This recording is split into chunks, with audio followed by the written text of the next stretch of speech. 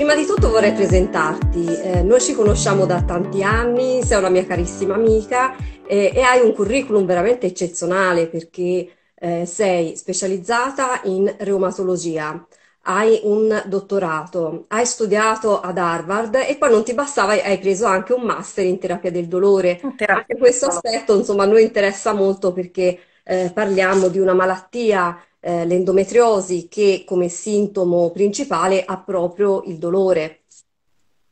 Certo, bene, bene, mi fa piacere che l'intervento di oggi sia particolarmente apprezzato da tutti i numerosi follower che hai e io insomma sono pronta a rispondere ad ogni eh, domanda eh, relativamente all'argomento che andremo a trattare. Bene, intanto faccio una brevissima introduzione su cos'è l'endometriosi. Eh, se per caso qualcuno trova così questo video ed è il primo che guarda, eh, chi mi segue da tempo già eh, conosce questa patologia, ne ho parlato in diverse occasioni. L'endometriosi è una malattia infiammatoria cronica caratterizzata dalla presenza di un tessuto simile all'endometrio in una sede anomala che crea una situazione infiammatoria cronica, appunto sistemica, per cui non è solo una patologia dell'utero e degli organi pelvici, ma crea eh, dei problemi per tutto l'organismo. Eh, coesiste a una disregolazione del sistema eh, immunitario, per cui è eh, caratteristico che ehm, coesistano delle patologie legate al sistema immunitario e altre patologie dolorose, come per esempio eh, anche il colon irritabile, ma soprattutto oggi ci interessa parlare della fibromialgia. Eh, l'endometriosi con la fibromialgia e con la vulvodinia fa parte delle patologie cosiddette invisibili, cioè quelle malattie che non danno dei segni clinici oggettivi, ma che si manifestano con dei sintomi eh, soggettivi come il dolore che non è eh, misurabile, per cui è molto importante eh, che il medico ehm, ascolti la paziente e capisca che questo dolore è reale, perché purtroppo queste eh, pazienti spesso vengono bollate come malate psicosomatiche, mandate a fare eh, una psicoterapia quando poi un problema è molto complesso. Magari poi uno può aver bisogno di un sostegno psicologico, ma soprattutto perché sono patologie eh, che vengono diagnosticate dopo anni e anni di attesa e questo è eh, inaccettabile. Per fortuna negli ultimi anni se ne sta parlando eh, sempre di più, eh, si stanno muovendo molto anche le associazioni di eh, pazienti, ma anche nel mondo medico si comincia un pochettino a parlare di endometriosi, di fibromialgia, di vulvodinia purtroppo ancora se ne parla molto poco, per cui questa proposta di legge che è stata depositata alla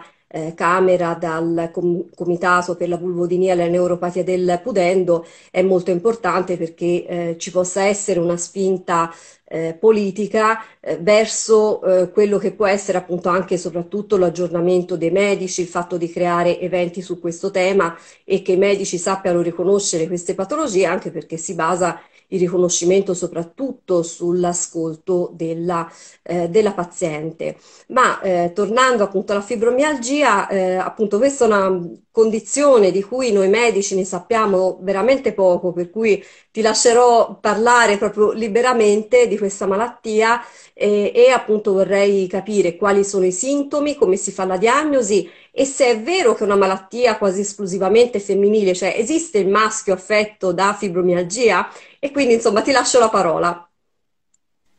Ok, grazie. Allora, eh, presenterò in breve la, la fibromialgia, eh, che è una patologia che si presenta innanzitutto con un dolore di tipo cronico, quindi anche, eh, diciamo, il, um,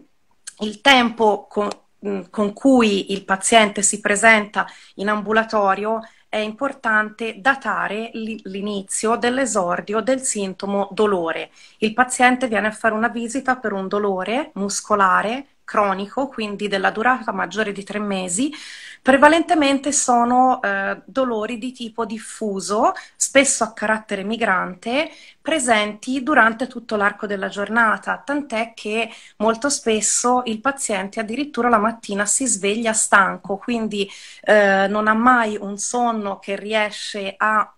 eh, riportarlo in una condizione eh, di riduzione di questo dolore cronico, quindi lamenterà dolore durante tutta la giornata. Eh, il fatto di svegliarsi molto spesso stanchi è un'altra caratteristica della patologia, proprio perché delle, uno dei segni, eh, dei sintomi che il paziente ci riferisce è il disturbo del sonno, prevalentemente un disturbo della fase profonda del sonno, della terza e quarta fase, per cui il paziente non riuscirà mai a riposare bene e ehm, la caratteristica di questo sonno è che è un sonno che non risponde proprio per questo all'utilizzo anche delle benzodiazepine, che sono i primi farmaci che um, vengono presi per i disturbi del sonno. Quindi il paziente fibromialgico è un paziente che nonostante il trattamento mirato eh, avrà proprio una difficoltà a recuperare le forze durante il sonno. L'altra caratteristica è la difficoltà di concentrazione durante le, lo svolgimento delle comuni attività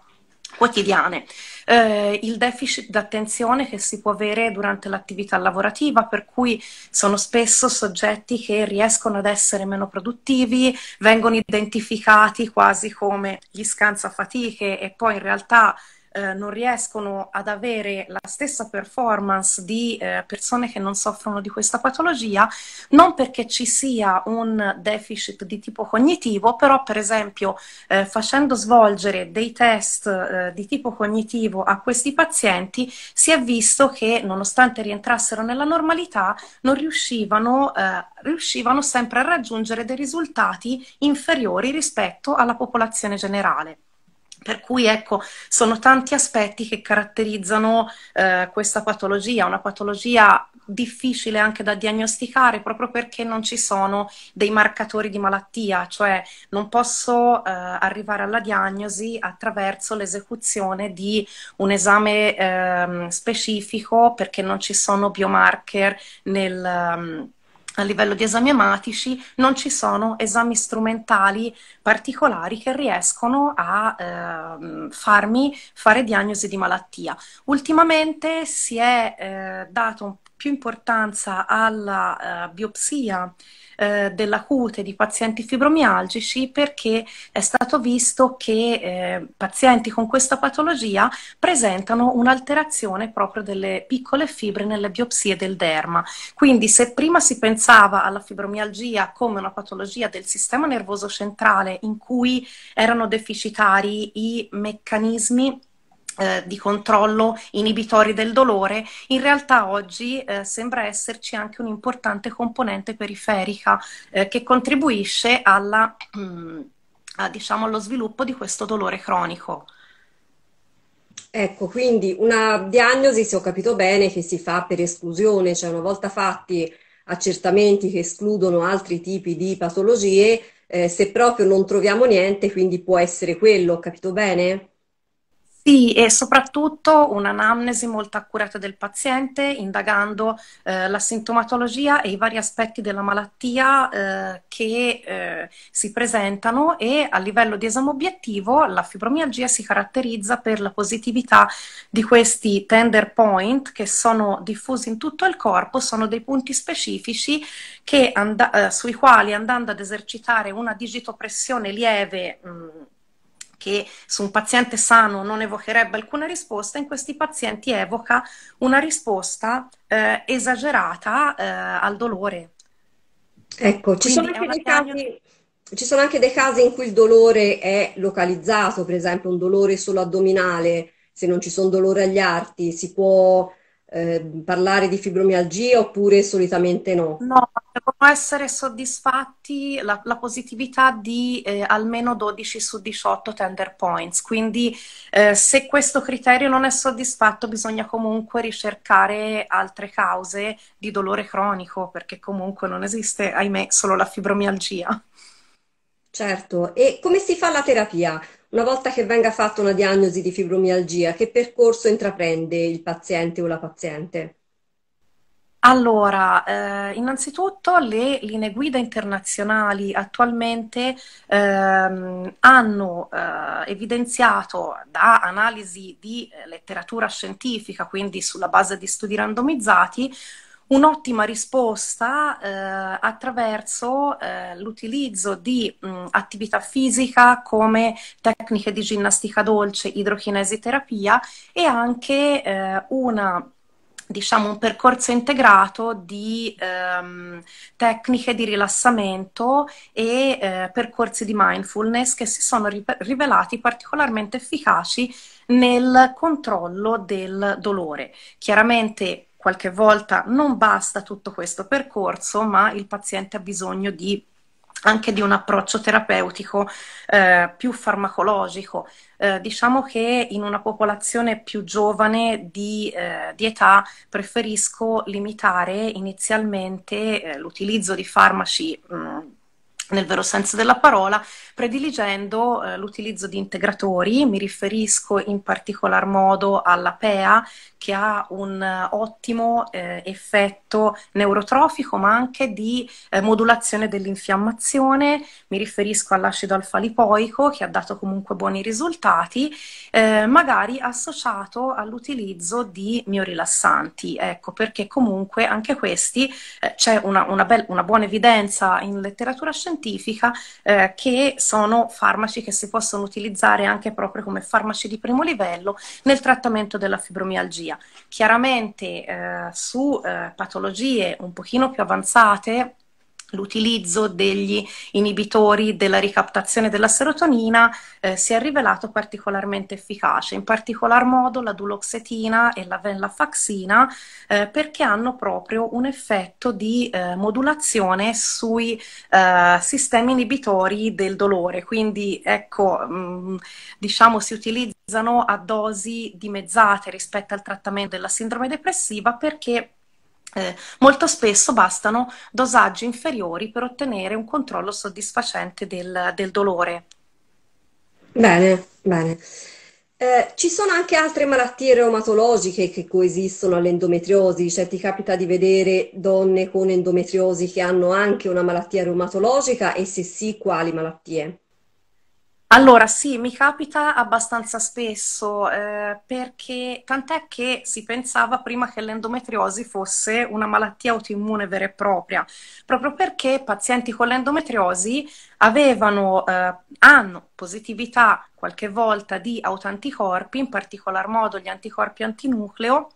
e eh, alcune pazienti anche anticorpi del eh, lupus eritematoso sistemico e soprattutto gli anticorpi anticardiolipina antifosfolipidi e la positività dell'AC. Questo, eh, diciamo, soprattutto queste pazienti mi arrivano in ambulatorio, mandate in consulenza da ginecologi, perché sono pazienti che eh, hanno difficoltà a portare avanti le gravidanze proprio per la presenza di questi autoanticorpi. Quindi sono pazienti con endometriosi che oltre alla difficoltà meccanica di ehm, annidamento dell'embrione che si può avere in questi pazienti, quando eh, una gravidanza diciamo, inizia, eh, hanno difficoltà a portarla a termine per la presenza di questi autoanticorpi. Quindi eh, è particolarmente importante eh, riconoscere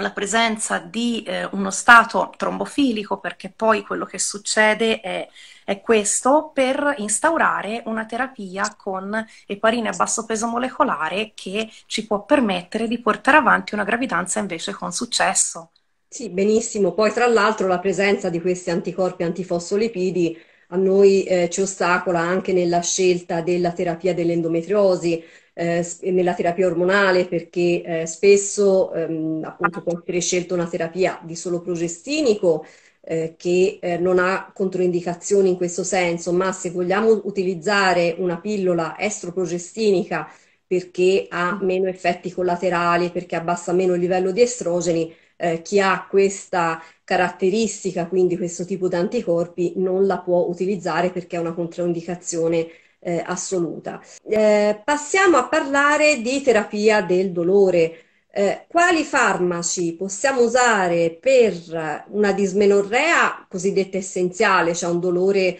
eh, mestruale eh, lieve che non comporta problemi particolari per la vita quotidiana e quali invece per l'endometriosi come supporto per gestire appunto questa patologia che inizia come un dolore eh, ciclico, quindi un dolore legato alla mestruazione, eh, ma per la mancata diagnosi progredisce e quindi diventa dolore ai rapporti, dolore alla defecazione, alla minzione, dolore pelvico cronico e eh, la difficoltà è quella che i comuni antidolorifici a queste persone non funzionano più e quindi ti, ti sfruttiamo per, per, la tua competenza. Che cosa possiamo dare a queste persone per stare meglio?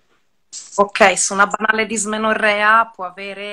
eh, effetto anche l'utilizzo del paracetamolo di FANS e COX-2 eh, che si possono eh, utilizzare al bisogno. Facci qualche, facci qualche, nome di molecola, eh, non necessariamente di nome commerciale. Quindi okay. FANS, il, il classico e l'ibuprofene. Altri che si possono utilizzare? Ma eh, ultimamente anche i COX-2 inibitori, quindi il Celebrex e l'etoricoxib per esempio, eh, sono associati anche a un minore sanguinamento, quindi di solito chi ha una dismenorrea, magari anche un ciclo particolarmente abbondante, eh, l'utilizzo di eh, questi antinfiammatori selettivi ci permette invece anche di eh, controllare un po' eh, il, il, discorso dell'abbondanza del flusso. Il paracetamolo è eh, il, l'antidolorifico utilizzato per eccellenza al bisogno, questo diciamo non ha effetti collaterali eh, particolari, per cui si può, si può, utilizzare anche nelle fasce più, più giovani di età, anche nella dismenorrea dell'adolescente, ecco, così come l'ibuprofene a basso dosaggio. Diverso è l'approccio per un dolore cronico, perché lì ci dobbiamo ritrovare a, a trattare un dolore che non è un dolore episodico, quindi non posso trattare tutti giorni una paziente con antinfiammatori, chiaramente per tutti gli effetti collaterali che poi un trattamento di questo tipo può portare. Così, dolore pelvico hanno dato buoni risultati alcuni integratori, mi riferisco in particolar modo all'uso della bromelina perché ha un effetto antiedemigeno e anche antinfiammatorio,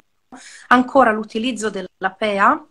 e eh, l'utilizzo ad esempio della pentossifillina perché ha un effetto anche di immunomodulazione. Quindi questi sono gli integratori che si utilizzano di più nel trattamento del, del dolore pelvico, eh, diciamo trattamenti eh, riferiti all'utilizzo di integratori. Poi chiaramente anche lì si apre tutto il mondo dell'analgesia, quindi l'utilizzo degli eh, antinfiammatori selettivi come COX-2 può essere consentito un po' più a lungo dei fans proprio perché hanno meno collaterali sul sanguinamento, sono associati anche a un minor rischio di emorragie digestive, quindi si gestiscono molto meglio da questo punto di vista. Purtroppo ci sono delle sindromi dolorose croniche che hanno necessità invece di un trattamento un po' più complesso e quindi si arrivano anche a utilizzare gli oppioidi, per esempio, nel trattamento del dolore, del dolore pelvico severo. Sull'utilizzo degli oppioidi bisogna avere un po' di cautela mh, mm, sulla, sulla, loro titolazione anche, quindi vanno titolati piano piano e eh, sul non rendere dipendente eh, un soggetto trattato, che i rischi maggiori connessi all'utilizzo degli oppioidi sono in particolar modo la, la tolleranza, quindi la necessità di incrementare un po' i dosaggi di oppioidi per ottenere lo stesso dipendenza che invece comporta una sindrome d'astinenza vera e propria. Ti volevo chiedere, ci sono anche da noi centri di terapia del dolore, sono rivolti soprattutto all'oncologia, appunto alle malattie croniche, tra cui rientra anche eh, l'endometriosi, ma chi è l'algologo e da quali specializzazioni proviene? A partire dal, dallo specialista in anestesia, allo specialista in oncologia, eh, a tutti gli specialisti in malattie dell'apparato muscoloscheletrico, quindi dal, dal reumatologo al fisiatra, ma eh, anche a medici internisti, geriatri, la terapia del dolore e anche alcuni medici di medicina generale che eh, intraprendono il percorso di studi della terapia del dolore, proprio perché anche nei loro ambulatori il sintomo dolore rappresenta, eh, diciamo, una delle eh, cause maggiori di visite dal medico curante. Si va dal medico curante perché ho un dolore da riferire è uno dei motivi per cui il paziente va più spesso dal medico curante, quindi si sono molto sensibilizzati anche i medici curanti al discorso della terapia del dolore. I centri di terapia del dolore sono gestiti prevalentemente da anestesisti, da oncologi e da palliativisti per quanto riguarda poi la terapia del dolore solo in ambito oncologico. Ecco. Bene, bene, questa è un'ottima cosa, soprattutto per quello che riguarda i medici di base, perché spesso sono anche eh, i primi che ehm, appunto prendono in carico la, eh, la paziente, la persona con un dolore cronico, quindi è molto importante che siano formati eh, sul dolore e su queste patologie cosiddette invisibili, quindi che sappiano perlomeno cos'è l'endometriosi e cos'è la eh, fibromialgia. Sapessero anche cos'è la vulvodinia sarebbe molto bello, ma prima dobbiamo, dobbiamo aggiornarci noi ginecologi, ecco, perché anatomicamente la zona riguarda eh, riguarda noi e quindi noi siamo i primi che dobbiamo saperla diagnosticare. Poi se anche i medici di base sapessero cos'è la vulvodinia, insomma, sarebbe una bella cosa, però basterebbe, tra virgolette, che, eh, che lo sapessero i ginecologi. Eh, l'ultima mia domanda, eh, perché secondo te c'è ancora molto tabù culturale sulla prescrizione degli oppioidi e sulla cannabis terapeutica? eh, che poi sarà l'oggetto di una successiva diretta che faremo dopo l'estate. Diciamo perché c'è poca informazione al riguardo, nonostante la cannabis sia utilizzata a scopo terapeutico in terapia del dolore da dieci anni esatti, dal 2012. Però c'è poca informazione al riguardo, anche e soprattutto eh, eh, da personale medico specializzato a personale medico, quindi molto spesso tanti specialisti non sanno neanche a chi indirizzare il paziente per intraprendere un percorso di questo tipo. In realtà eh, la Regione Toscana prevede rimborsabilità per l'utilizzo della cannabis a scopo terapeutico per eh, svariate patologie, quindi per tutto il dolore neuropatico, per il dolore oncologico, nel trattamento della spasticità secondaria. Quindi c'è la possibilità di accedere gratuitamente a un percorso terapeutico di questo tipo eh, avendo determinate patologie. Quindi tutti i centri prescrittori di terapia del dolore possono eh, stilare un piano terapeutico eh, con cui il paziente poi può eh, continuare il proprio, il, il proprio, trattamento anche con la prescrizione del medico curante sulla base di un piano terapeutico fatto da un centro di riferimento. Eh, a me come terapista del dolore privato mh, mm, capita di eh, fare prescrizioni eh, su ricetta bianca, quindi eh, per pazienti che non richiedono la rimborsabilità della, della terapia, eh, chiaramente comunque è un nostro dovere informare il paziente che esistono dei centri di riferimento in cui eh, il farmaco può essere rimborsato. Bene, ottimo. Eh, la domanda che ci faceva una persona prima, la fibromialgia può essere transitoria? Uno lo potrebbe avere per sei mesi, un anno e poi magari no, oppure magari non era quello, era un qualcos'altro? Allora, eh, si può migliorare come sintomatologia. Io ho pazienti che seguono eh, un trattamento e che poi ehm, diciamo si eh, abituano anche a degli stili di vita più sani e che riescono comunque ad ottenere un ottimo controllo del dolore, quindi pazienti che cominciano a fare attività fisica mirata, anche a curare un'alimentazione, ehm, eh, diciamo seguendo una dieta eh, a basso indice glicemico, perché l'utilizzo, cioè il mangiare troppi eh, zuccheri semplici, è un fattore proinfiammatorio, quindi ci sono anche dei nutrizionisti che si occupano proprio di questo aspetto e la nutrizione non è da sottovalutare nel trattamento di questa patologia. Quindi eh, diciamo eh, lo stile di vita della paziente può influire tanto nel, nel controllo della sintomatologia dolorosa. Certamente sono patologie croniche, purtroppo i pazienti arrivano in ambulatorio quando questi sintomi eh, persistono per tanto tempo, eh, le abitudini di vita della paziente sono difficili da cambiare o ci sono anche delle pazienti con difficoltà a um, tornare un po' indietro eh, su certi stili di vita intrapresi, quindi eh, bisogna vedere anche la, uh, la compliance del paziente, la, la disponibilità a seguire un certo percorso che non è semplicemente farmacologico, cioè prendo il farmaco e sto meglio è, mh, è molto molto più complesso il trattamento della fibromialgia. Però ecco, ho pazienti che si sono sganciate anche dalla terapia farmacologica, quindi Uh, l'importante si può stare meglio, ecco, possiamo, possiamo mandare un messaggio di speranza. Quindi, come in tutte, in tutte queste in tutte queste cause, tipo di patologie, anche una diagnosi precoce potrebbe aiutare, giusto? Il fatto di, di poter fare una diagnosi pri- prima di arrivare a una cronicità di anni, quindi questo è importante, me lo confermi? Assolutamente sì, io vedo una domanda di un partecipante che mi dice eh, può rispondere alla psicoterapia?